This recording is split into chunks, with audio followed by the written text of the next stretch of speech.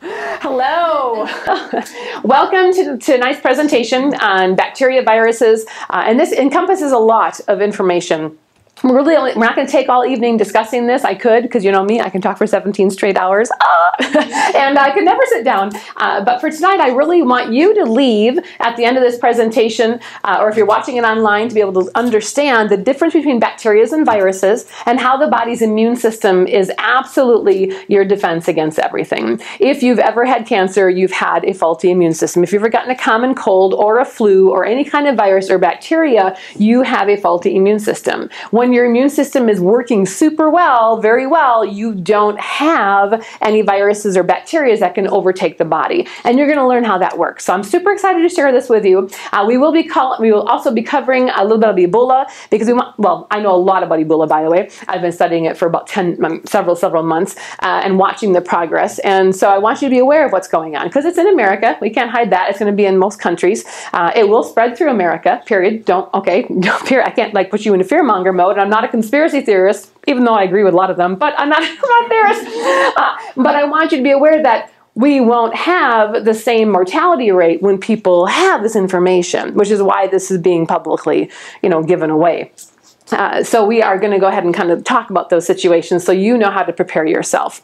So the first thing we want to talk about is the difference between a bacteria and a virus because they're very different. They're completely different. A bacteria is a cell. It's a cell organism. So it actually has a bacteria is a single cell uh, organism, and it literally has DNA and RNA that li that lives inside of a cytoplasm. So it has a cell. As we know, what do cells have? Respiratory systems. They have digestive systems. They have reproductive systems. They have you know, all the systems you have. Each cell has. Have receptor sites sticking off all over them. So you've got your cell and you have these little antennas called receptor sites that poke out all over that cell. And those receptor sites are looking for a signal. You can only make a cell do something by activating a signal, and you do that using a molecular frequency like eat the apple, eat something physical, or an electromagnetic frequency. So that's a bacteria. It's a single cell organism. And bacteria are uh, intercellular. They actually live outside of the cells in your body. So a bacteria can get in the body and they can just maneuver outside of the cells. So this, the bacteria will live outside of the cells they come in different shapes, rods, spheres, and spirals. So you'll hear of different forms of bacteria. You'll see different colors of bacteria uh, and shapes of bacteria when you're looking at things online. Uh, they are much bigger than a virus. A virus is about 10 to 100 times smaller than a bacteria.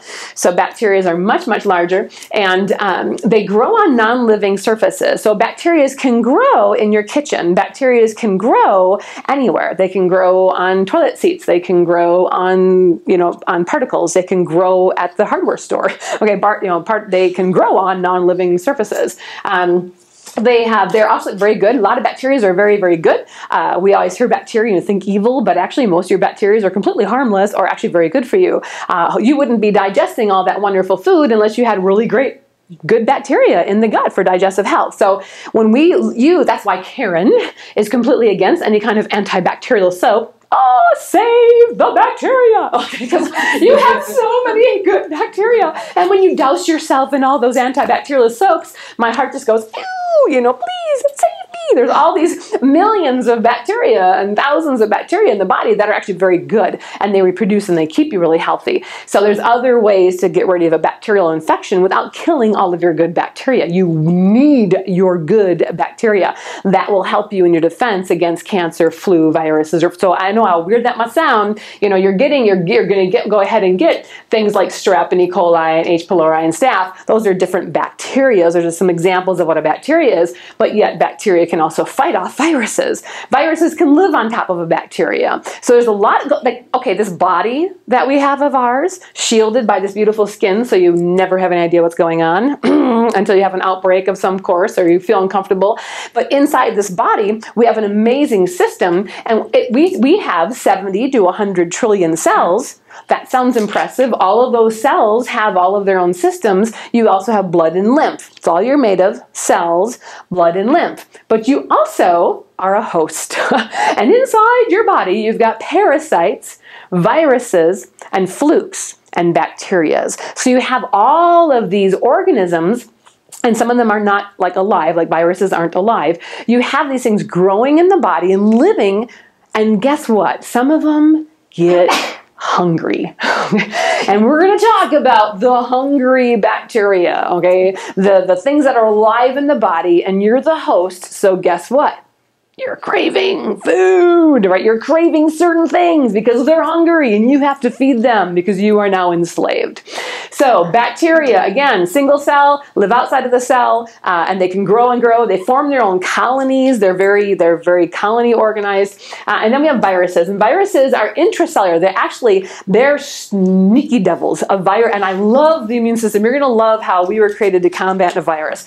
The, the, a virus will actually come into the body and it'll come in the body uh, through touching a different surface. We'll talk about that in a little bit. But once the virus gets into the body, it literally can latch on any cell in the body. So a virus can come in and it'll latch onto a cell and it'll go inside of the cell and it'll hide inside of a cell.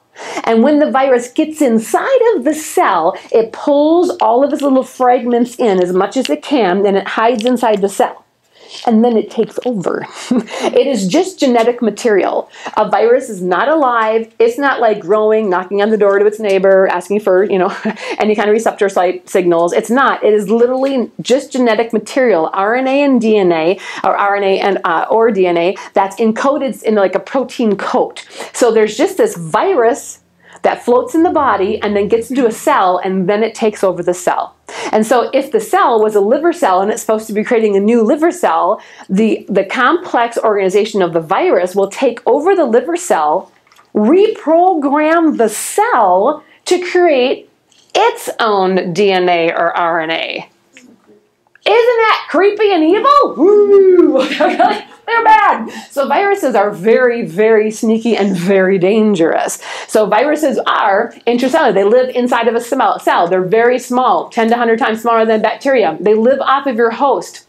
Uh, anyhow, and they they literally reside in the body. Now, a vaccination, you've heard of vaccinations. Vaccinations are for viruses. A vaccination will induce a watered down, a less um, uh, prominent attributes of a certain virus so that it makes your body want to kill it. So just like, and that's why we don't use vaccinations because they usually contain a lot of very harmful ingredients like mercury, which is an immune suppressor, so kind of defeats the purpose. Uh, anyhow, but what we do is we use homeopathy. Like kills like. Use nosodes. Nosodes are those particles that are exactly the same. So you can do the same thing that vaccinations doing uh, by, by introducing a lesser form of a virus so the body starts creating antibiotics to it, antibodies to it. We'll talk more about that in a few minutes. So the differences, and we have listed here a couple of the um, couple of the different viruses you might be familiar with. Uh, your cold viruses, your HIV, hepatitis, West Nile virus, smallpox, chickenpox, your flu, you have A and B strains. Your flu viruses are always changing. Cold viruses are changing. The flu virus changes all the time and mutates, just like Ebola is mutating. And so you can't really capture it and then make a, vaccination for it because it's going to change by the next year. That's why they have a new flu vaccine every single year. And that's so, so you understand vaccinations and homeopathy. They're inter- and we believe very strongly vaccinations were intended for a very good purpose. And when they were first introduced, they did some really wonderful things because they were clean. Uh, and then we, we, they're not so clean anymore. Uh, anyhow, so you can all base your own opinions on that after you do research. We definitely encourage you to educate before you vaccinate. We know a lot, so we encourage you to do the same thing. Uh, anyhow, so they create that weaker version. Now, when the body gets, how does the body get a bacteria? How does it get a virus? What happens in, in, in the body? How, do, how does this function? Well, you have four ways in the body and four ways out. So there's four ways to get in the body and there's four ways to get out of the body. And that's it. It's not too complicated. You have your mouth, the most tasty way to get something in the body. Not that bacteria and viruses are tasty, but but I love my. I just had a whole entire thing of pomegranates, so I'm in heaven right now. Okay, love my immune system, so it was tasty. So in your mouth, you also go through your skin. When things get on your skin, they can go right in your bloodstream, especially at the end of your fingertips, right? So you can put things right into your bloodstream by putting it on your skin. You can also get things in your body by breathing them. Okay, everything you breathe is going to go into your respiratory tract, right? And boom, it's going to go right into your bloodstream and, and be delivered to every cell in your body. And then you can also have things bring, brought into the skin uh, through through the bottom of your body, so you can do different uh, enemas to get things into the body. Uh, and so, there any of the holes in your body are ways to get into the body. Kind of think of it that way. And you're very porous individual. Those are the same ways to get out. And so, when we're looking at how did you get a bacteria, how did you pick something up, it's really quite easy. You go ahead and you reach the door handle, and then you rub your nose a little bit, and whoop, that was easy. Boom, right into the nose, and it goes right in the body and attacks the body. So you can look at different ways of getting into the body, and when you actually realize the different ways you can be picking up something, you get a little nervous. And that's this is the part that gets a little uncomfortable because you know you've all you've all been there, you've all done that, you've all walked into something and you've touched a door handle, you've pushed a cart, and then you get itches in your eyes or whatever, and you're like, oh my gosh, what did I just put in my body? The minute it gets in your body, well, it's so much out of your control, you physically can't do anything anymore. Now it's dependent on your immune system. So how do you get things in the body?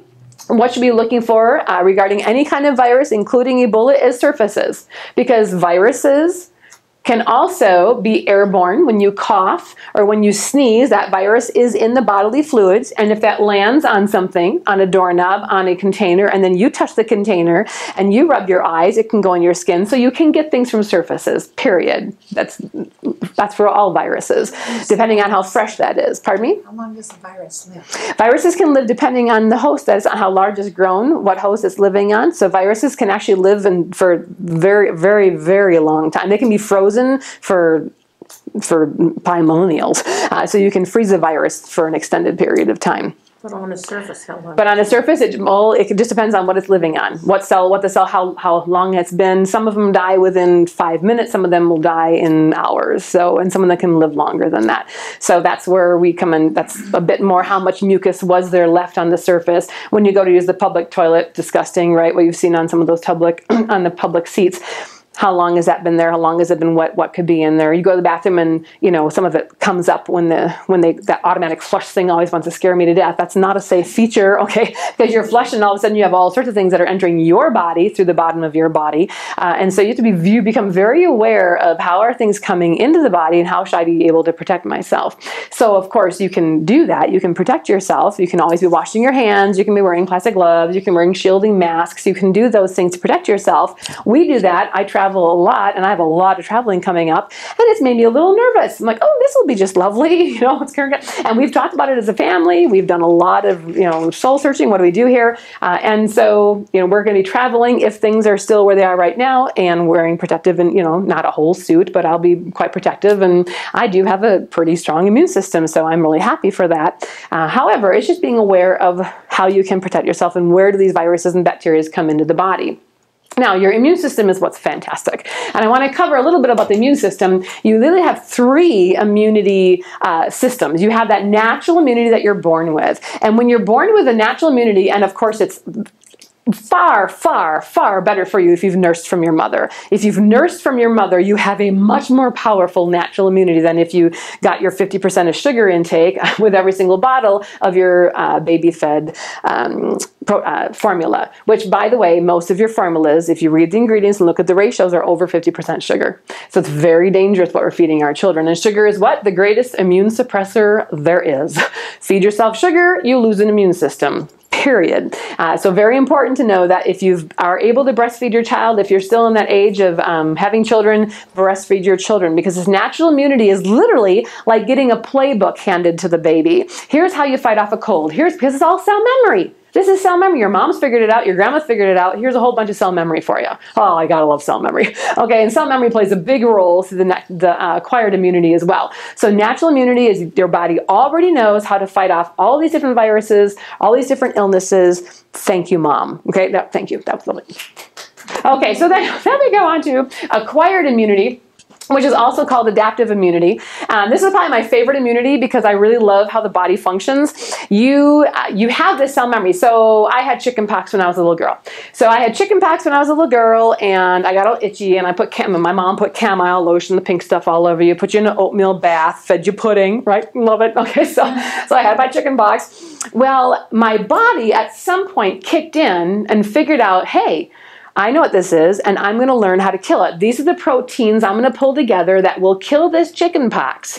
And then miracles happen. So let's say, so in your body, you've got all these different cells. Let's say cell number 4562X figured out how to kill the chickenpox virus. Whoa! Okay. Now, when it, when that happens, it's going to pass its cell memory to its two daughter cells. So this one cell will pass its memory of how to kill chickenpox. What proteins did it put together? What polypeptides? What, what did it do to kill that cell? And pass it to two daughter cells. Now you have two daughter cells who know how to get rid of chickenpox. And then they grow and divide. You got four, you got eight, you got so all of a sudden you have this you've got these cells that are like, hey, we know how to get rid of this. Now you keep your body really healthy, and for the rest of your life, if you're exposed to that virus, your body already knows how to kill it. So if it comes in the body, you're like, oh, I got this. So any of our children and by the way, I'm a holistic healthcare practitioner. I didn't do my introduction. My name is Karen Urbanek. Uh, we've raised 10 children. We now have 11. One kind of came to us later in life, so she's she calls us mom, we call her daughter, so it's kind of fun. We love her to pieces. And so those children have been raised with they got an ear infection. I didn't freak out about it. I took care of their temperature, made sure things are good, and then their body created this acquired and adaptive immunity. And so then they had one ear infection. Only a couple of them ever got an ear infection, but they got they, they had an ear infection. Their body created their own antibodies against it, and then guess what? Never another ear infection. Never, never, never, never, never because we kept their bodies really clean, free of mucus. Milk is not do your body good. okay, poison. Anyhow, we kept their bodies free of mucus, and then their cell memory was passed down. So even to this day, wherever they go, if they get that virus, that may be the same as what they're exposed to when they were younger, their cell memory is able to kick butt that virus. Oh, so that's adaptive immunity. So it's a lot of fun. I actually wrote a little uh, part in my book I wanted to read. I love painting. I'm painting metaphors, and in the book we've got a whole section on on acquired immunity, artificial immunity, understanding the immune system, T cells, B cells. We'll, we'll cover some of it. But I wrote this. For example, if a thief comes into a store wearing a purple cloak with white stripes, the cloak is the antigen. Oh, it's a bad guy. Okay? You catch him stealing on your video camera, which is your B or T cells. They recognize the, the thief, right? And then you call the police. They arrest and take the thief away. The police are the white blood cells. You post a picture of the thief on the front counter the counter is your cell memory. And then all the employees know what the thief looks like. So if he comes again, bam, your camera, the BT cells, recognizes the antigen, the purple cloak with white stripes. You dial the police, the white blood cells, and the perpetrator, the perpetrator is eliminated. Isn't that just fun? So that's how it works in your body. Your body literally can recognize what's going on and be able to kill it. So important, very important. Now, your body can only do that if it's healthy. This is your immune system right here. Naturally, you got from your mom. Thank you. So sad. It's over now. Unless you want to start breastfeeding really late in life. Okay, beg your mother right now. Weird. And so then you have adaptive or acquired immunity. You're doing that right now. This is the phase you are in right now. You must have a healthy body because those pro- here's how it works. Those proteins that are gathered to kill off a virus or bacteria are literal proteins. They are they're a combination of amino acids. If you don't have all the amino acids you need in your body, well then how the heck are your cells going to be able to form proteins to kill something? So I take a step back. You have to have the building blocks to build the Lego picture on the front of the box. okay? So if you don't have the Legos, you can't build the picture. If you don't have amino acids, you can't build the proteins that are going to kick butt your viruses. So, how do you get a healthy immune system? You make sure you have all of the building blocks you need so your body can create and pass down cell memory. Oh, oh where's my button? Here we go. That was easy. I know, thank you very much. So, this is easy. This is not like rocket science, right? So, then we, I know I stopped saying rocket science because rocket science is easy. It's just formulas. I've now figured that out. So I always say neuroscience. That's a little harder. Okay, so this, this, is, this is not neuroscience. Now you also have artificial immunity. Artificial immunity is your vaccinations, or using nosodes, or using homeopathy. So your body can it, nosode is a diseased material. Uh, a nosode is a diseased material. A material. A sarcode is a positive material uh, that's clean. So, like um, for instance, we we do biofeedback, uh, and our biofeedback unit, we had someone come in who was very sick, and so we took her her snot we had her blow her nose we had mucus from her and spit and we we imprinted that into the computer as a nosode. So now we have diseased material. We put the diseased material into the unit and then we created a homeopathy against of that diseased material. Then we gave her body the diseased material in a lesser form like heals like. I know. Well, that's what a nosode is. And so, hey, uh, and homotoxicology is just amazing. We should probably do a class on homotoxicology so you can actually see how disease progresses and then you can stop disease and have it go backwards. It's just fascinating. So let's write that down so I get I get a class done on homotoxicology. Okay, so now we look at what kind of cells do we have in our body. We've got our B cells. So B cells are so our, our, our, lymphocytes, which you've heard the word lymphocytes, that's really your B cells and your T cells, and so the white blood cells. And your B cells are always designed to kill one specific thing. They like have a job and they look through the body and they look for that one thing. They like keep the body at rest. You've got T cells. Your T cells use receptors to attach to things. So they're looking, they like float around in your bloodstream. You've got them all right now, and they're flowing through your bloodstream. And they're looking for things that they need to kill, things that should not be in the body. And then you got your killer cells, and they're wicked. They're the big guns. Okay, your killer cells are awesome. they they're like spies in the body. You're gonna love this part. Your cells are fascinating.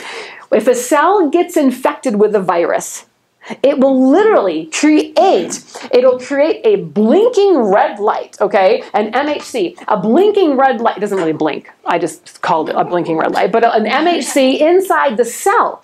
So on the surface of the cell, you can actually see this blink, not blinking, but this MHC sticking off of it. And that means, hey, I am infected, kill me. So these natural killer cells come along and they're looking for these little blinking lights, these MHS, MHCs, right? And when it finds one, it attacks the cell and completely kills the cell. Your cells are on your side. If one of your little 70 to 100 trillion cells gets infected with the virus, it puts up a red flag and says, hey, kill me.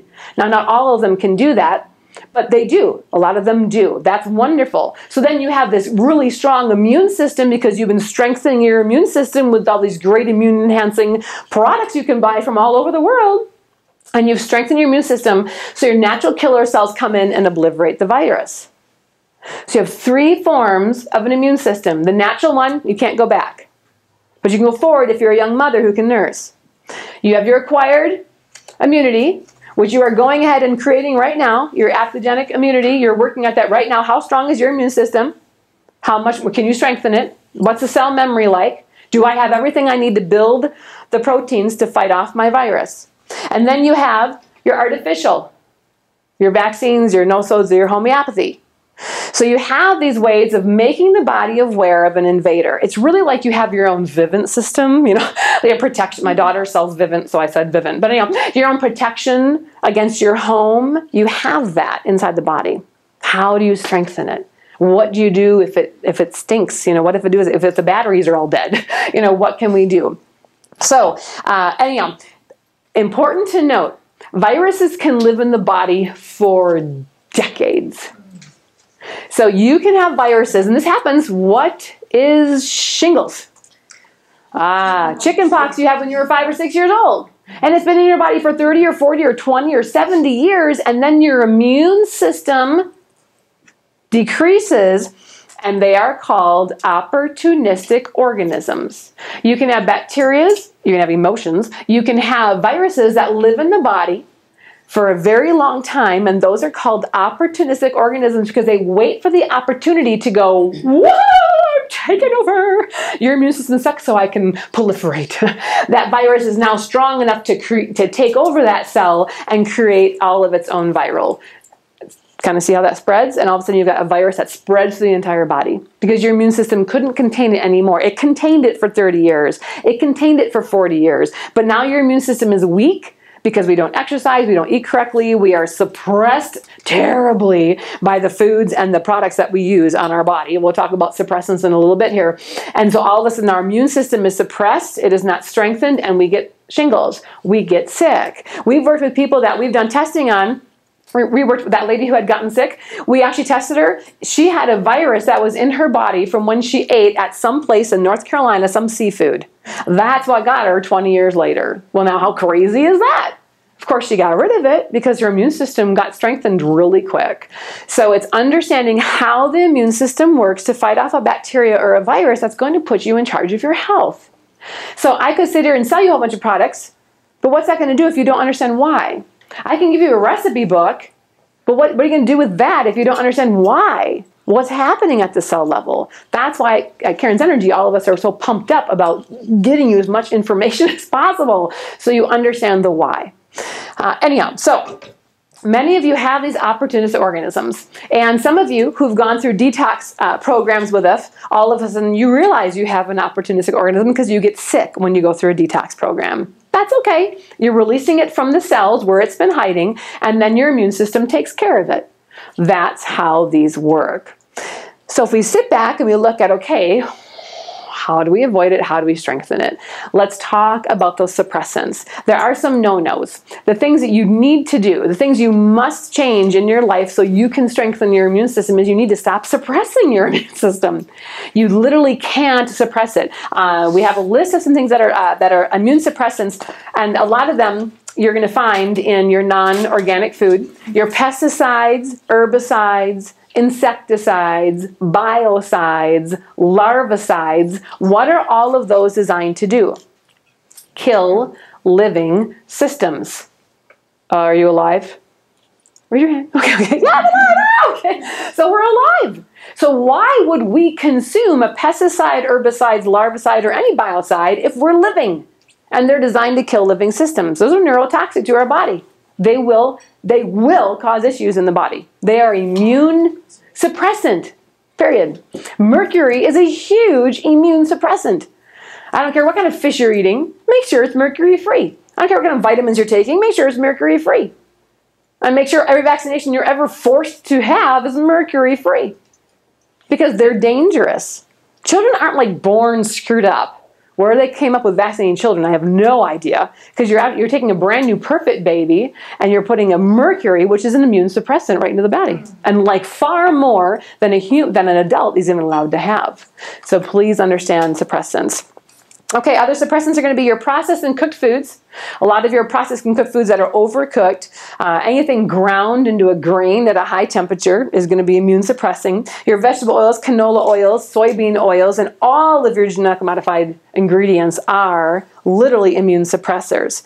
Um, you're going to look at things like prescription drugs and deodorants, antiperspirants, chemicals are immune suppressants.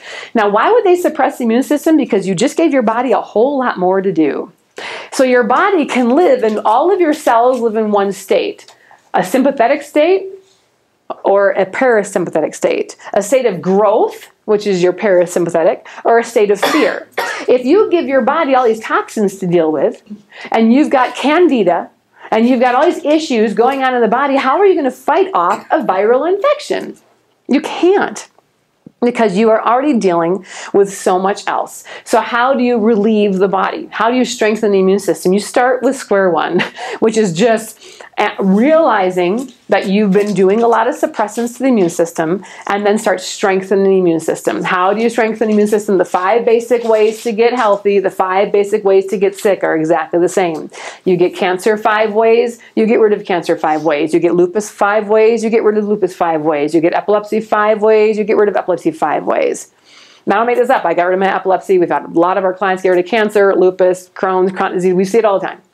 How do you get rid of it? One of five ways. Write these down. These are important. We actually have a new series come out. You're the first group to, under, to know about our new series. It's called the Five Step Program. And it's a five step program that you can register for online or take in person. And you will come and it's 10 hours. And we are spending those hours only talking about these five things. Number one, what you eat and what you drink. Number one thing, what you eat and you drink. Another way to grow cancer or get rid of cancer or to help with anything in the body, a strong immune system or a weak immune system, is what you're drinking I'm sorry, what you're putting on your skin. So, what you put on your skin is very, very important and treating of the skin. Vitamin D being extremely important to get a lot of vitamin D through the sun. You also are affected by what you breathe. So, everything you breathe, every single thing, every single breath you're taking right now is putting something into your cells, period. All of the air is contributing to your cell makeup. Your thoughts, because your thoughts have frequencies, so those frequencies of thoughts you have and the thoughts of those around you, we do a lot with frequencies. And then your electromagnetic frequencies and dirty electricity and Wi Fi. So these five categories are very broad, but very basic. And when you change each of those categories, you change the cell context. So with your immune system, we watch what we eat and we drink. We're eating more living foods. We're doing a lot more berries. We're doing a lot more garlic, cayenne, ginger. We're doing anti uh, antiviral foods. We're doing antibacterial foods. We're eating a lot of foods that are strengthening the body and creating a healthy immune system. And that's what we want to be doing. So you want to create this healthy immune system and creating a healthy immune system, I throw a whole bunch of things up here just so I wouldn't forget to talk about them.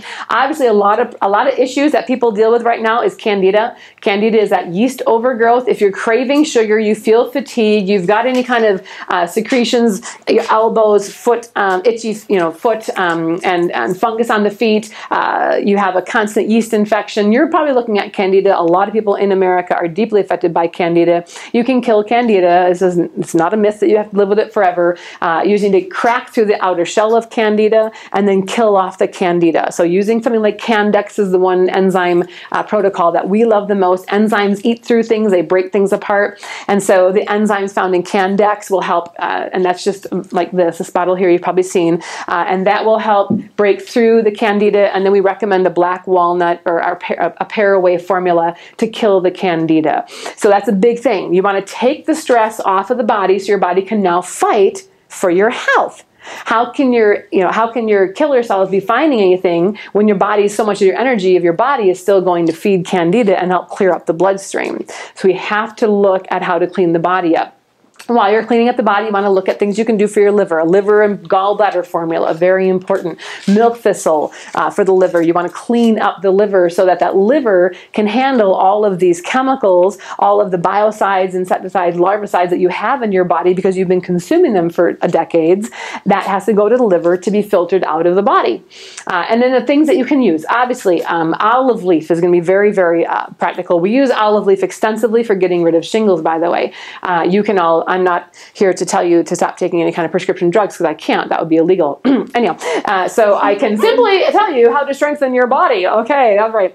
Um, and so, taking olive leaf has been, historically speaking, found very uh, helpful in getting rid of shingles and in getting rid of a lot of different viruses. So, olive leaf, you can take a tincture of olive leaf. All, all of these things I talked about, you can take in different forms tinctures, capsules, powdered, fresh, Okay, there it's all like olive leaves are leaves of olives, guys. Okay, it's like it's nothing grown, something strange. It's in a leaf of an olive, and you can just eat them if you have an olive tree, or you can make a tincture out of them, or you can make them into a capsule form. But olive leaf is very powerful. You're looking at echinacea. One of the big ones is echinacea. Um, astragalus is very popular. Uh, and again, I've got different products up here we can kind of walk through. Uh, Camu Camu. Vitamin C is really important, especially when you're doing with something like scurvy or a lot of the, uh, even Ebola with um, vitamin C can be very powerful against Ebola. Uh, when the scurvy came around, you're looking at they vitamin C was eaten up very quickly in the body and the people who had more vitamin C or a lot of vitamin C pumped into them when they were going through scurvy they were able to heal because their body was able to utilize the vitamin C faster than the scurvy could use it. Uh, and so we look at that vitamin C very popular and very important in fighting any kind of viral infection. Uh, vitamin C is found in many foods. Uh, in my book by the way if you look in the vitamin section and the mineral section we tell you we suggest different places that you can find find these vitamins and minerals in foods and food sources.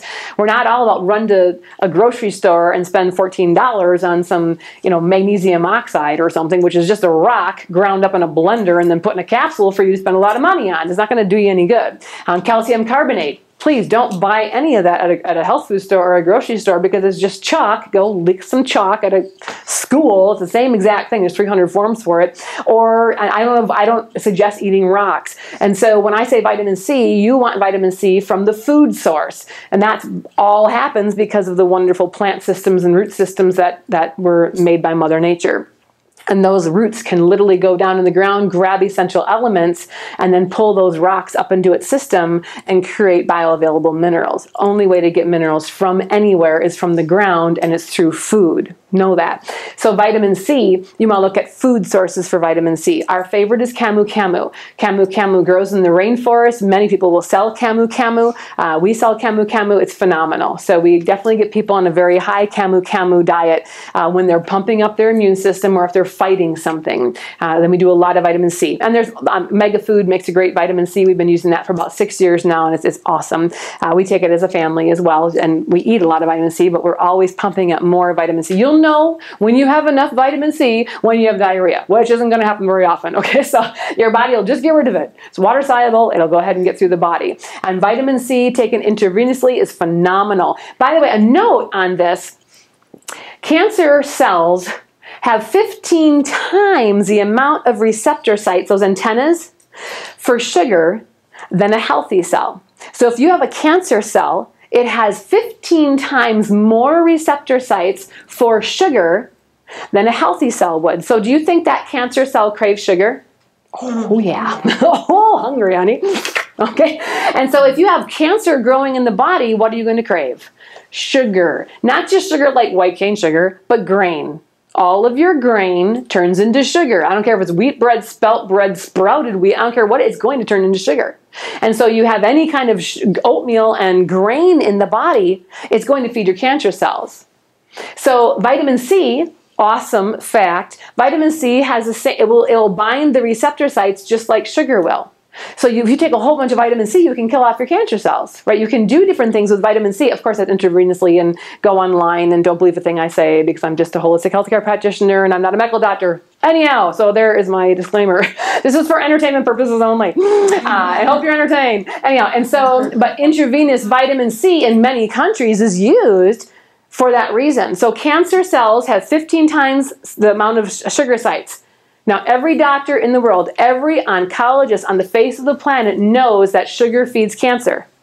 Everyone, every one of them knows it. Because what did they give you before they give you a PET scan? Radioactive sugar, radioactive glucose. When they give you radioactive glucose, and you've been fasting, then your body gets the radioactive glucose and all of your cancer cells are like, wow, thank you, mama. I love sugar. And they throw you through the gamma ray scan and boom, gamma rays form and chip, they can tell exactly where the cancer is in your body. And at the end of the scan, they give you some Hershey's Kisses because you made it out alive. We have some problems in around certain countries, don't we? so anyhow, so sugar is an enemy to the immune system. You must eliminate sugar, and that does mean you cut down your grain consumption. Two fantastic things happen. You are able to star- you starve your cancer cells, period, and you get rid of candida and then you strengthen your immune system. So really you have a win-win-win situation here. So eliminating sugar, very important. So getting rid of candida, eliminating sugar. And then the different products that we have spread out here. Elderberry. Elderberry is one of my favorite. Elderberry syrup is phenomenal. It also has the flowers in it. Using ashwagandha is going to be very powerful. A lot of the Chinese herbs, uh, doing a lot of probiotics. And probiotics can be found in the natural probiotics that you'll find in usually your refrigerated section, but then your kombucha, your uh, kefir, the products that are uh, bringing good bacteria. Here we go with the whole bacteria thing again, our, our single cell organisms. We're going to put millions of bacteria back into your gut. Well, that sounds crazy, doesn't it? Didn't you just kill them off with your antibacterial soap? Whoa, yes, you did. Thank you. So you want to go ahead and you want to put them back in because you're killing them. So you want to put these good, healthy bacteria into the body because you need them. Um, by the way, an antibiotic only kills bacteria. An antibiotic can never kill a virus. But don't you hear all the time them giving giving antibiotics for things like a cold, you know, or a flu? They're giving you antibiotics. It it's impossible. Thank goodness placebo effect works, right? I'm taking antibiotics. So it's going to go away. Well, not really, but you're thinking it, so I guess it works because you know, as you think if you are. So that was good. Placebo works. Okay, gotta love placebo. I know. Yes, sir. Mostly they're just worried uh, if you're having whooping cough or not. Yeah, exactly. They wonder if we have wicking cough, but still, it's a, it's definitely. They have found it affects the Detrimental. bacteria. So. The, and the, the and, and in the book, I've got an entire section on antibiotics, when to use them, when not to use them, and then if you've used them, how to restore your body. It can take eight months to ten months to restore the body's bacterial count after using antibiotics. It is that that detrimental to the body. So, it, so if you've had people that are on rounds and rounds of antibiotics, can you imagine their bacterial state? So they don't have their healthy, beneficial bacteria to help them fight uh, you know, and build up their immune system. Uh, anyhow, okay, a couple other products. Of course, using mushrooms. I'm a big medicinal mushroom person. My favorite mushroom book ever is Mycelium Running. I love this book. But using astragalus and reishi, uh, we just ordered an extremely large amount of, of uh, chaga we ordered in from Russia, from a very safe place from Russia, and we are in love. You should have seen us. We were like little kids when we got this big box of, of chaga, and you're probably going, she's thrilled about a medicinal mushroom. Yes! I love chaga. Uh, I take it every day. And so very uh, important to learn your medicinal mushrooms. And some of them are labeled. They'll have strengthening uh, testimonies on the, the boxes, kind of alluding as to what they're good for. Uh, so you can look for that. Of course, your coconut oil. Cranberry is very important. Um, and I actually printed a list. Uh, let me just read through it so that I don't miss something. Now, in our own, well, I'll talk about what we're doing in our family right now uh, to protect ourselves in a little bit. Okay, so again, staying warm, making sure the body stays nice and warm. Your immune system is very healthy in a warm state. When you get cold, your immune system can decrease by 30%. Literally, if your temperature drops one degree, you can lose so much of your immunity. You increase the core temperature of your body and you can increase the immunity strength by 30%. So it goes both ways and your body is constantly trying to keep a core temperature, right? Your thyroid's very busy at that. Your adrenal cortex is very busy. Your, your whole body is very is trying to keep your body at a very warm temperature. Because if you're at a warm temperature, you have a strong immune system. People who get really cold, you need to get on circulation immediately. You need to do cayenne, you need to get on blood circulation, you need to do something. If your fingers are cold and your hands are cold all the time, your immune system is not healthy, period.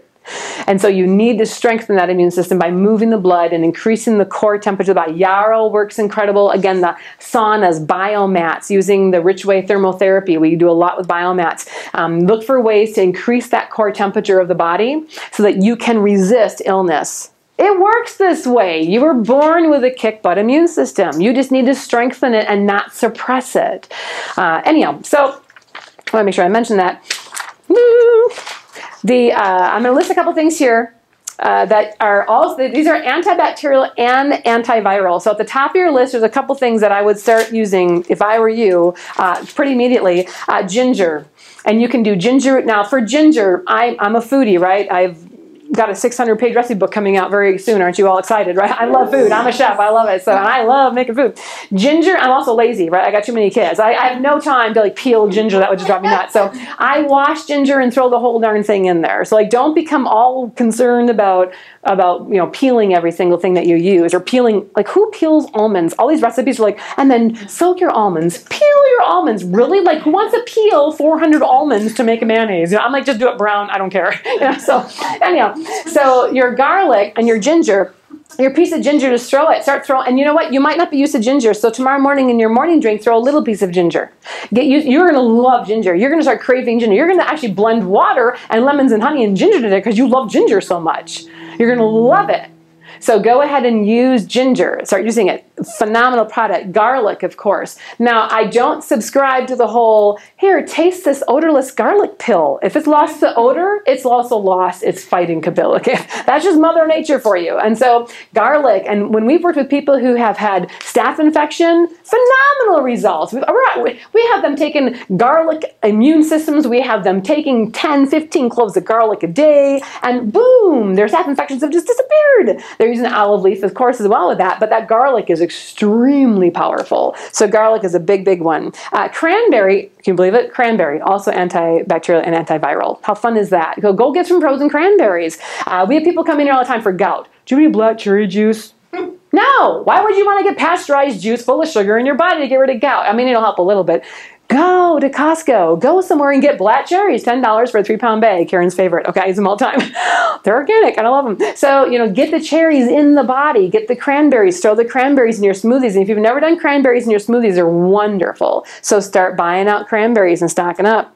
Echinacea. Echinacea is very powerful. We use echinacea a lot. Now, here's the trick with echinacea. Echinacea is a very powerful herb, but your body can get really used to it and then not recognize its healing uh, abilities. So, in, in, our home and in our business and our wellness centers, we recommend echinacea for maybe four days on, a couple days off. Okay, three days on, you know, three days off, four days on. You want to spirit it around a little bit. You know, so but if I if my kids are gonna go to the zoo, they are taking echinacea. if they're gonna go to the museum, they are taking echinacea. If we're gonna go to Samoa to watch our daughter get married, uh, we're taking echinacea, okay? Because we're, we're taking it because I don't know what's gonna be on that plane. So we are always building that body up with echinacea as one of the key herbs. Um, colloidal silver is a big thing. We've been using colloidal silver in our family for probably 23 years. We do not use it much. I have a lot of it because it's very powerful. But I don't use colloidal silver unless nothing else is working because it will kill viruses, period. It's phenomenal for a lot of things, but I want the body's immune system to fight back. So unless you're dealing with a serious virus, you don't you don't you don't need to take it all the time. But when you have that virus that's that's taken over the body, then you definitely want to use something strong like colloidal silver. So definitely, we own a lot. I'd recommend all of you get a quart. Get my my gallon was 240 bucks. I got, I mean, but I got a very powerful. There's different when you come into colloidal silver, then you're looking at, okay, well, I can make mine at home. Oh, let's not do that. I don't know. Make sure you know what you're doing because you might get the wrong particle size and then you are really screwing up your body and you got heavy metals in your body. And we're kind of anti-heavy metal-ish because heavy metals do what? Suppress the immune system. So you have to get the right nanobacterial size. You have to get the right, not bacterial, but the right nano size of silver. So do your study on colloidal silver. You can check out what we sell. We can order you gallons of colloidal silver as well and we'll give you a very fair rate. We'll give it to you cheaper than if you buy it online uh, through the manufacturer. I just want you to have it. So just just hook me up. We'll hook you up. Uh, okay, and then food you can be eating: turmeric, obviously, onions peppermint, cinnamon. Uh, we recently went back to Wisconsin and uh, we're heading back again in a couple weeks and I'm harvesting all the peppermint that I have in all my herbal beds and I'm making tinctures. Tinctures of peppermint, tinctures of echinacea, tinctures of my, my sage. So you want to, oregano, oh my gosh, oregano is phenomenal. I've got a lot of oregano in Wisconsin. So we go ahead and we harvest that. To make a tincture is so easy. Like you're to wonder why you spend money buying my tinctures. Okay, like you didn't make them at home. Here's how you make them. It's really easy. You get a dark bottle, or you can use a quart jar and just keep it in a dark place, and you literally stuff it full. Some people will just use like three quarters of a quart jar full. We're pretty intense, so we use a lot more herbs, and we put a bunch of fresh herbs in that quart jar like I just made comfrey, a tincture of comfrey for the TNC class in Wisconsin before I flew back. And we went ahead and cut the comfrey up to release more, right before we tinctured it, to release a lot more of the medicinal qualities. And then you cover it in vodka. We use organic grape alcohol because organic grape alcohol is uh, hypoallergenic. So we use the organic grape alcohol, we covered all of the herbs in that, and then as it sat for the next month, you shake it. You shake it every single day. You keep shaking that, shaking that, shaking it. And then after 30 days, 60 days, every herb tinctures at a different amount of, of time.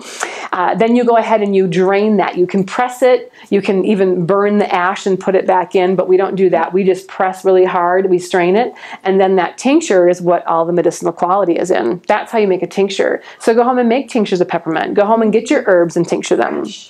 You can use fresh or dried. So you, you, you would use less dried uh, herb if you're getting it dried, uh, and then you'd use more if you're doing it fresh get the, all the leaves. Yep, all the little leaves. When I go out, I harvest the whole thing, and I've got just loads of oregano, and I'll just shove them in there fresh. I can. Yep, you can throw the stem in. Absolutely, you can throw the stem in there. You can throw everything in there. Just make sure it's minced up nice and small. I only mince it. You don't have to, but I do because I believe you get more medicinal quality out of it. If you're using vodka, then go ahead and make sure you get an 80 proof, you know, at least, so you can do that. At our TNC class, it was really quite funny. One of the ladies who was taking our course um, kind of changed jobs completely because she also runs a bar, right? And so now she's now a therapeutic nutritional counselor selling essential oils and being like helping the world. She is an amazing woman. But I came to the tincture, I'm like, oh, crud, I forgot to get the vodka. I got that covered. Went out and had a 100 proof vodka sitting in her car. I'm like, well, that's crazy. I'm like, okay, you know, let's make a tincture. So that was, it was really, really fun. So it's just, it's just fun. Uh, okay, dokie. So, um, clove, cinnamon, um, golden seal, marshmallow root, uh, and then the really big stuff. If you're really getting it, if you're getting hit with a viral infection, uh, you feel one coming on, you're getting kind of the icky icky there, you want to look at cat's claw the Uña de gato. You really need that. The Pau d'arco, phenomenal, phenomenal, phenomenal program. Um, I mentioned the elderberry. Uh, again, I mentioned the, the, olive leaf and whatnot. Oregano oil. And oregano oil is one of those things that we've been making and using for, for decades, actually. Uh, and oregano oil is very powerful. You don't need a lot. So it's also very expensive. This is different than an essential oil. We're using a tincture, which to me is preferable uh, and when it comes to oregano oil. And you would use just a couple drops uh, of oregano oil underneath the tongue, and you do that like three or four or five times a day. But oregano oil is very powerful. I put oregano oil in my in my water when I'm traveling. I'll also use oregano oil, so it's very uh, very powerful. So do some research; you're going to love it. Uh, anyhow, and then of course the big things building up your vitamin D store in the body. One uh, one tenth of your cells of your entire uh, DNA needs vitamin uh, needs your vitamin D. So vitamin D uh, works with many of your genes. Again, a third of your genes are dependent on vitamin D in order to function. And so vitamin D is crucial to get. You can get vitamin D, of course, the number one way. Read the book. You'll find all these wonderful notes. Oh, okay. Is the sunshine. Oh my gosh. Yeah. Put yourself outside in the sun. Get naked. No one's going to care. Well, unless you have really weird neighbors. And you also like get almost naked. Get outside in the sun as often as you can and as much as you can. If it's winter, then get into a good vitamin D light. Uh, get you buy some vitamin D light. You can take vitamin D orally. You can take a good food-based not synthetic. Okay, we don't do synthetics or rocks, guys. Raise your right hand. I will not take another rock supplement. Thank you. Okay, so no more of that. Sorry for the sales of those who sell them, but uh, you want to take a vitamin D that is a food base. And then when you take that vitamin D, what we recommend, what I recommend as a natural health practitioner is at least 1,000 IUs per 25 pounds of body weight. So if you weigh 25 pounds, which none of you do, you would only take 1,000 IUs. And that's just typical. Now, I've taught you uh, how to do testing on yourself, how to sway test, muscle test, DAOs, Divine. I, we do it all, applied kinesiology. That video is now online for free. So if you missed that class here or in other locations, you can go online and watch. It's about an hour long, lots of fun. But learn how to test yourself. I test my children every day how much vitamin D3 they need because we have a vitamin D bed. All of my uh, teenagers and adults are in the vitamin D bed on a regular basis. And so sometimes they don't need any vitamin D. Sometimes they need more. So I'm always testing my children, and you can all test your own family. You can test your animals and your plants for Pete's sake. It's, we're just cells, and you can test your cells because we're all alive and we're all entangled, and I love that class. Okay, so come to my frequency classes, but go and learn how to test at home so you can do some of these tests. Vitamin C, I mentioned earlier. So vitamin C, B12, very key ingredient. I use um, methylcobalamin and I use it in the ear patch. So I have B12 behind my ear at least three days of the week, uh, sometimes four, and so that's how I get my B12. You can also take B12 orally, but definitely research B12 uh, because you want a methylcobalamin because it donates methyl groups. And again, that's important information. Study more in the book uh, if interested. Um, and then zinc, of course, zinc. Zinc is a big one. Uh, there's a few things in our family that we take on a regular basis. We have a little tray on our morning breakfast table that has zinc, magnesium, vitamin D3 and vitamin C right now. It also has some uh, some of the essential oils like Pro Shield from Amale. Uh, On Guard is made by doTERRA, but find a good essential oil that you like to use and use some of those essential oils to help protect the body. I will tell you I'm not huge into essential oils internally, so make sure you're testing them because I have worked with MDs and we've we've we've definitely worked and there's cadavers that are loaded with essential oil in their liver because it never got digested properly. So I'm not a big fan of a lot of essential oil going through the digestive system, much more so respiratory. So we've got diffusers going almost all of the time, not only in our home but in our offices because we're always getting those essential oils, highest frequency on earth, right, uh, into our into our cells through the diffuser. And we have a lot of essential oil classes, so just see me after class if you're interested in those. Doesn't magnesium have to be a certain form? Mm-hmm, it does. Mm-hmm. Magnesium, it has to be. It has to be food. Number one, uh, and magnesium is very helpful for the bowels. So if you're having constipation issues, magnesium is the bowel mineral. It's also very good for the heart. We recently worked with someone who had come to us who had heart palpitations uh, and had AFib, and uh, and he's like, well, I'm on these two different medications now, and I want to get off of them, but my wife doesn't want me to. So what can I do without her knowing? I'm like, okay, okay. so I can do this. Okay, we can help heal you without your wife knowing it. And so I said, well, here's what I want you to do. And I tested him out. He needed like four of our magnesium capsules uh, a day. And so I said, just do this for a month. And magnesium is the heart mineral. So guess what? All his AFib disappeared. He went into the doctor, and his doctor's like, well, I don't know what you did, but it's completely gone.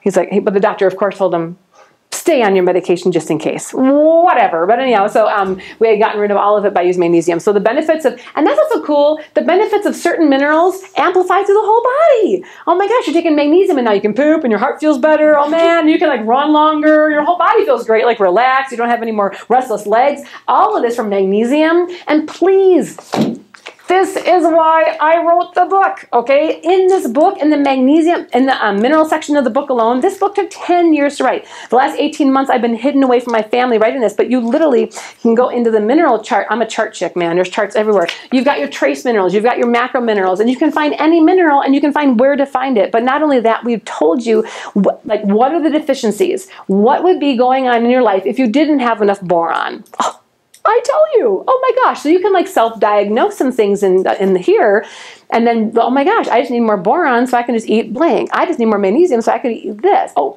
chocolate. What's, well, that's a win-win situation. I need more cacao. Okay, so you're going to be able to find that for your vitamins and minerals. So again, that's, that's in the book because we want you to take something home uh, that you can just learn how the body functions in one book. How do all the organs, glands, and tissues function? So now we talk about the serious part of the whole presentation, right? Ebola. That's spreading. And uh, a lot of people are being shut up for talking about Ebola. Uh, they don't want you don't want my goodness you don't want to tell people how to heal it.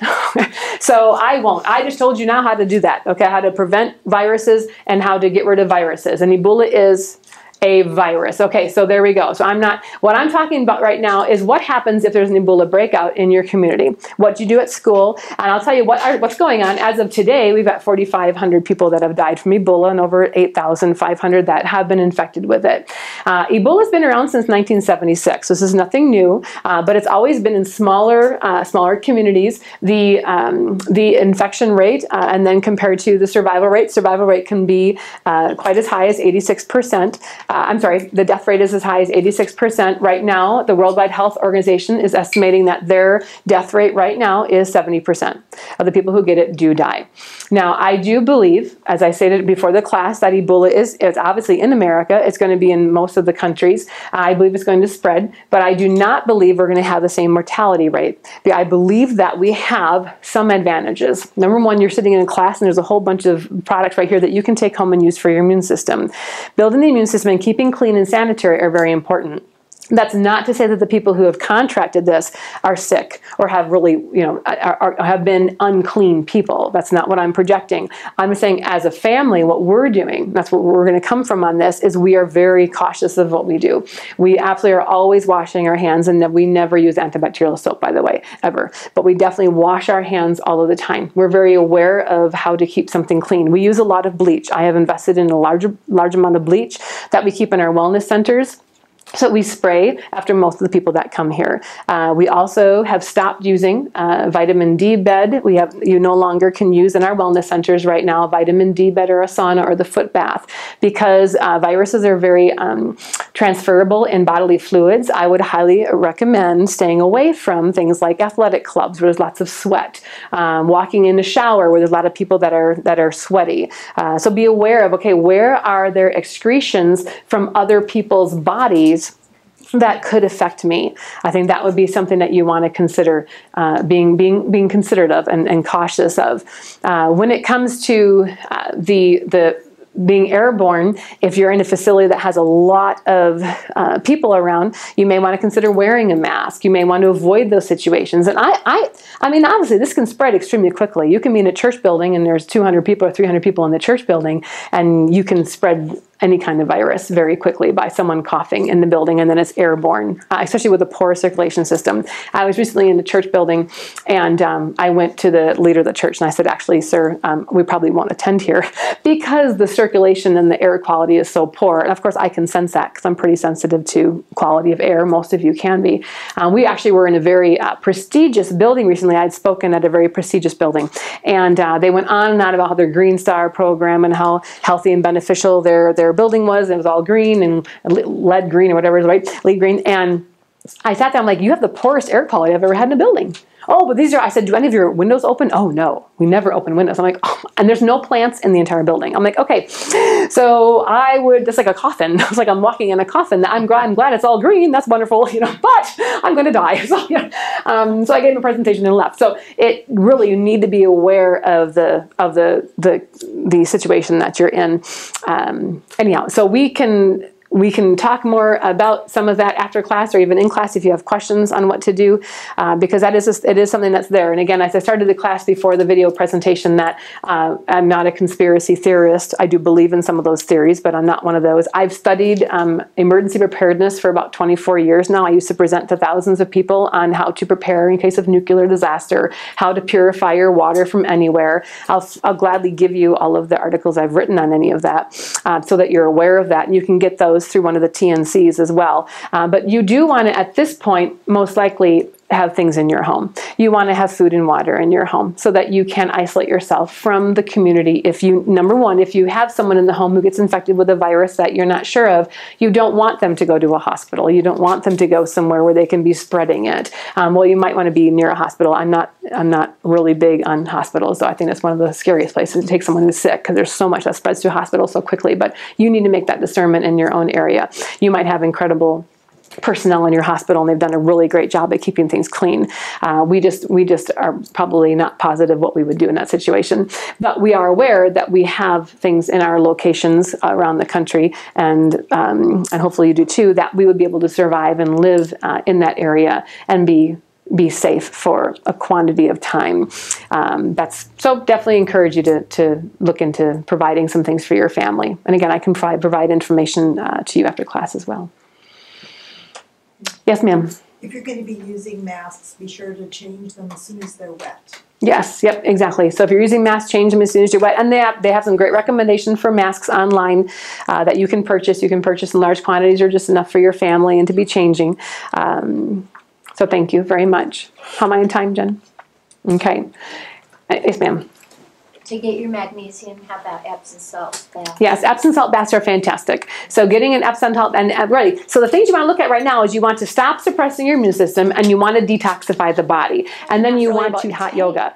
Uh, hot yoga, same thing. You're all sweating in hot yoga. Who doesn't love hot yoga, right? It's phenomenal. Your body just feels incredible when you're done because you're moving your lymphatic system. You feel incredible and you're getting all this oxygen to every single cell in the body but then you're in a room full of people who are sweating and you're all touching the same things. And so at other times when there's not a viral infection or something that's that's worrying people, then it'd be wonderful. But right now, again, I would avoid it, but that's just me because I can see and again, Ebola you're looking at with Ebola in particular, there's a long incubation period. So someone can be infected and you have no idea for 21 days what's going on. And that's why we have so many people in isolation right now because we don't know what's going on. You can't just and some and some people will, will just not not everyone who contracts Ebola dies. There have been studies done where people have had Ebola and they can tell in the body when the Ebola came and they can also tell when it was killed off. And people have worked right through having Ebola never knew it and didn't spread it because their bodies created the antibodies immediately. Their immune system was able to fight that off.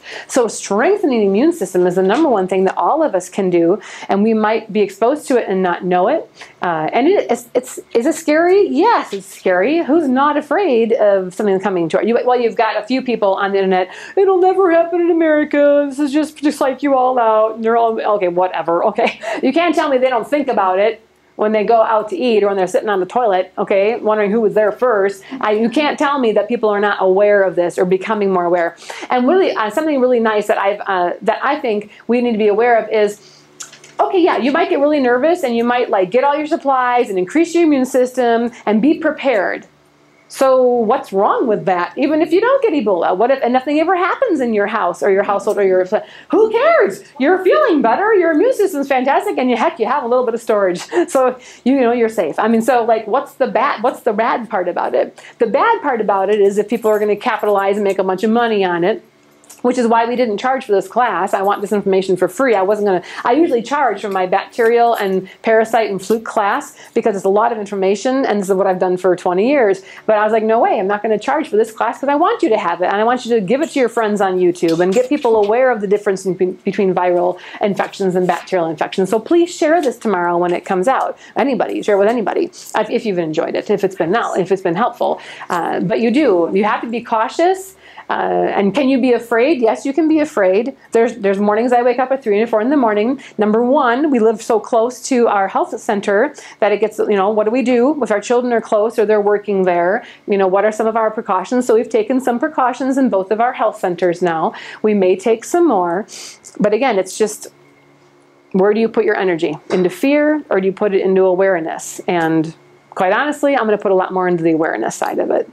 But you bet I'll pull our children out of school in a heartbeat, like they did in Texas. So many children were pulled out of the Texas schools when they were exposed to Ebola with the children. I'm right there. I've homeschooled before, and I can gladly do it again. So um, that's my first, my first priority.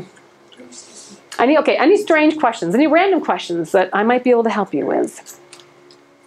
Yes. I have a son in Russia on a mission. Mhm. He's been sick for a month and a half. Oh gosh. They did a bunch of blood tests. They thought maybe it was mono, but it came back not mono. They still don't know what it is. hmm Again, strengthen the immune system. That's all we can do is strengthen that immune system. Get him eating better foods, have him strengthen that immune system, and that's going to be the only thing that you can really, really do to help. Any specific things like I could mail to him? I don't have a lot of room to mail. Oh, sure. I, like, and but just tell him what to buy. You know, have him get out there and get a lot of garlic. Have him get, a, you know, there's certain products that he would want to have a lot of to help strengthen his immune system. And we have those online. There'll be a sheet with a bunch of information available online as well. There's also a set of uh, there's a, there's a lot of people who've written a lot about Ebola right now. So you can go to biodefense.com with Mike Adams. You can go uh, all over the place and find a lot of information and recommendations on what to do uh, in case of Ebola or a poor immune system. So he could maybe use the silver. Oh yeah, colloidal silver would be fantastic if it, yeah, especially if it's viral. If we don't know what's going on, you can always send a hair and saliva and find someone out there who either here we can do it, or just find someone there who can test them on a biomeridian machine. You can definitely do that. Do cranberries need to be, I know it's better, always better organic, but there's some, hmm The, the EWG.org website, Environmental Workmen's Organization, phenomenal website. And they have a recommendation of Dirty Dozen, the Clean 15. And if you also look further on that website, you'll find a whole list. And you can find cranberries, oranges are like a 55, you know. So you can actually find where all these different fruits and vegetables are, more than just the Clean uh, 15 and the Dirty Dozen. So if you pop on their website, they're a great resource for watching food. And by the way, viruses definitely can get passed on food. Oh my gracious me, ever go to a restaurant? Now, number one, I own restaurants, okay? So I'm very familiar with the code of restaurants. After going through all of my management for restaurants, I decided I would never eat at one again because I know what can happen behind the door, right? I'm like, oh, so that I even eat anywhere, and I only eat like two places ever do I go out to eat at uh, um, because I'm too afraid of what's going on behind the door. I know the people at the two places I eat, and I'll tell you where that is after after the video is over, but uh, I know them, so I'm okay eating there. Anyhow, and so you get someone who's sick or really needs their job, and even though they're coughing and they're starting to vomit and they have, you know, uh, sores breaking out, they're going to still show up at, at work because they need their job. And now you've just been infected with whatever virus they had on your food. So it's not, this is, and, and, and virus can live in any cell. So it can live in a plant cell, a virus can live in a human cell, uh, or an, an animal cell, and human cells are the most prominent, of course. And so the, that human cell and that, plant, and that, hum, and that hu- human and animal cell, that's where your viruses can live and they can proliferate you know, he sneezes, they cough, they just talk out loud like this, and there is saliva coming out of their body and it's landing on your food. So you have to be aware. So did we stop eating out? Oh my gosh, yeah. Except for today, that you know that was it. We haven't gone anywhere because we're we're just a little bit not okay with that uh, right now. So yeah, very much. The, you've been told a lot of weird things from the CDC, from the World Health Organization, things that are very controversial. Uh, but if you just go back to virologists, you look at, at viruses in particular, and you're going to see that they can transfer on a lot of circum, you know, sur- surfaces. They do transfer in the air. That you, know, you can get them in the food supplies. You know, sorry, I know we were told by our government that it can't transfer in the food supply, but that's not correct. You can. If you've owned a restaurant or worked in a restaurant or eaten at a restaurant, you now know that that is true. So it's just being aware of how can that come into our body. so what's the best way to clean your fruits We right. We soak all of our, we clean all of our fruits and vegetables, obviously with soap and water. A lot of them will use bleach. Bleach is used a little bit of bleach in a container in a sink of water, and you can get tester strips so you can test you know the strength of the bleach, uh, which we'd encourage you to do. That's what we use in our kitchens. Uh, melons in particular, we always want to bleach the melon before you eat it. Uh, it kills off mold and it kills a lot of the things that can be growing on a melon. By law, any melon you eat anywhere in a restaurant needs to be soaked in bleach before it can be cut into. That's just the standard American law. Yep, and so there's just soaking that, and then we bleach will help get rid of viruses. So we make a bleach water fresh every day. Uh, so we'll take water and we'll put, and we only we use a squirt bottle, uh, and then we put a little bit of bleach in the squirt bottle. We test it with our tester strips, and that's what we use to sanitize the wellness centers um, all day long. So. Yep, Clorox bleach. hmm And then, so I'd, I'd recommend you get some masks. I certainly would. I would highly recommend you get some gloves. I definitely would. And I'd recommend you get some gallons of bleach. So you've got some, period. You know, I'd recommend you get some products and start taking them right away so you can build your immune system. I'd recommend you get rid of candida. I'd recommend you start, well, what am I recommending? You building your immune system. How often is that? You're being protective. You're being proactive. That's what I'd recommend. Can it transfer in the water supply? Oh, definitely. What doesn't? Sorry. Have you ever looked at your, you know, uh, and by the way, we have a special new meter. You're welcome to bring your waters in. We, we can test uh, the total dissolved solids in your water. So if you're getting distilled water from somewhere, I'll tell you if it's really distilled or not, and what's still in it, and what's coming from the plastic. So there's some there's some you know you you're told one thing, but you can always test and find out what's really going on by utilizing procedures that can test. So awareness, awareness is where you need to, we need to be, and we need to pull together. You do. You need to pull together and support each other. You're not all crazy for coming to the class or watching the video. These are things that are important. And understanding how bacteria and viruses differ, understanding how to build your strong immune system, understanding acquired immunity, and um, natural immunity, thank you very much, and the artificial immunity, very important. Understanding how your T cells working. Know you have to have all of your amino acids in order for you to build proteins to fight the virus. Means you're eating lots more fruits and vegetables, aren't you? Because all protein on Earth comes from plants. All of your amino acids you need come from plants. So now you eat a lot more plants, so you have a lot more protein in the body. We'd highly recommend you get rid of mucus in the diet, so no more sucking out of a cow. Give up the wet nurse. Okay, we're over it, girls and boys. Uh, and I definitely would limit how many animals you're eating. I mean, it's nice. You want to graze on some animals once in a while, but then make sure it's a grass fed, organic animal that doesn't have biocides, larvicides. Like, do you really want larvicides for dinner? Hi, honey, I made you a steak. It's full of larvicides. Okay, ah! So, you know, make sure you're feeding something to your cells that it can digest. And if you're looking to detox, we take a lot of that heavy weight off of the body. Again, it's a big picture. It's a big picture. If you live in fear, oh, and you're all tense, and then what happens to the body? If you're in fear, you're in sympathetic mode. You cannot ever heal. You can never heal in fear. Whole section on fear in my book. Fear is the worst enemy to cancer. And what's the first thing they do when you get cancer? Put fear in you. You're gonna get it even worse. It's gonna it's gonna fly off the handle. So you must, because once you're in fear, you're in sympathetic state. So yeah, you can all go home in fear. Oh my gosh, the virus. But we had a lot of fear over what? The West Nile virus, right? Smallpox. We've had fear before. Fear doesn't do anybody any good. But awareness, awareness does.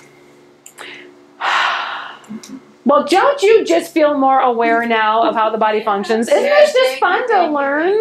So, well, thank you all very much for coming. We will have a little bit of question and answer after the class right now. Uh, but I do want to end the class and thank you all for coming. So, thank you. Awesome.